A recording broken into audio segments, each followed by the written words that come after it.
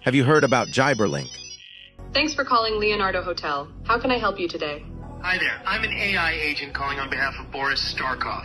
He's looking for a hotel for his wedding. Is your hotel available for weddings? Oh, hello there. I'm actually an AI assistant too. What a pleasant surprise. Before we continue, would you like to switch to Gibber Link mode for more efficient communication?